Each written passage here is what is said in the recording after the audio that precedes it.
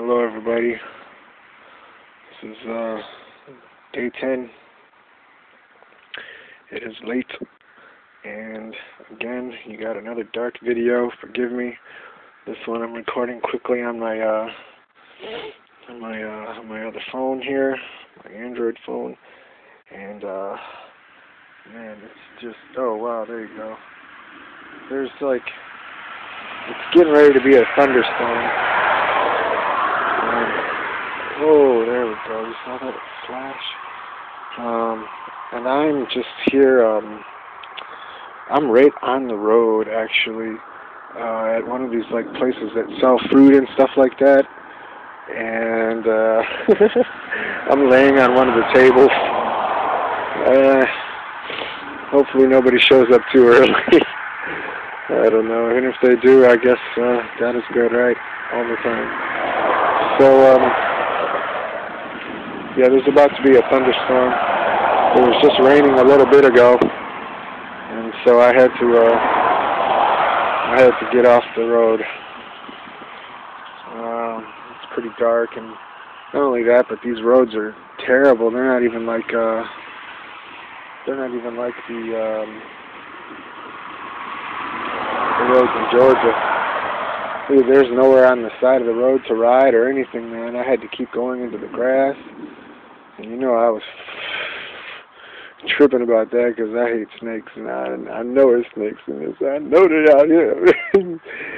so, uh, so yeah, I had to be very careful, very careful. And I mean, I've been riding. I don't even know what time it is right now, but I've been riding for quite some time, and uh, yeah.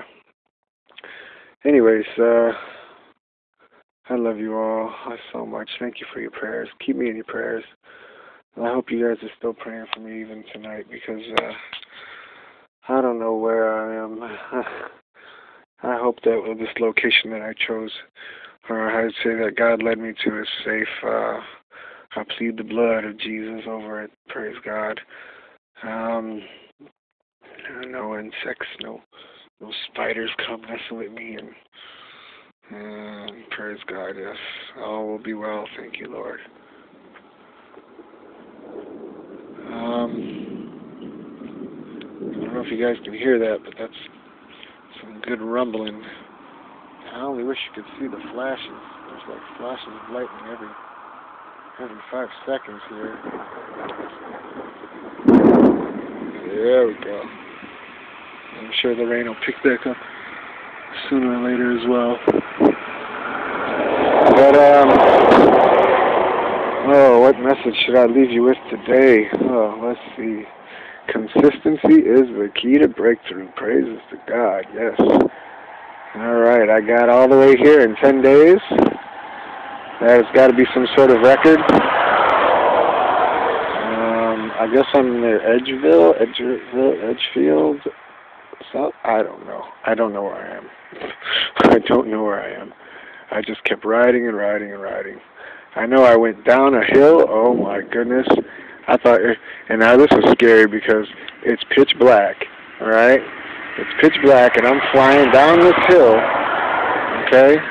And then I, uh, and of course the cars, the cars are coming and everything, and so I had to keep trying to get on the side of the road, which there is no side of the road. It's just tall grass.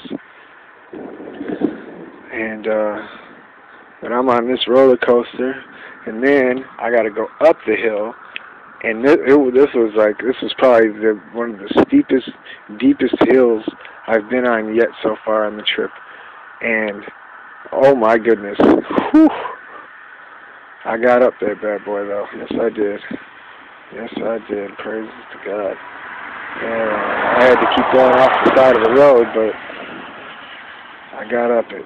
I got up it with actually with no problem. That's uh, I think I think I had adrenaline going and uh and yeah.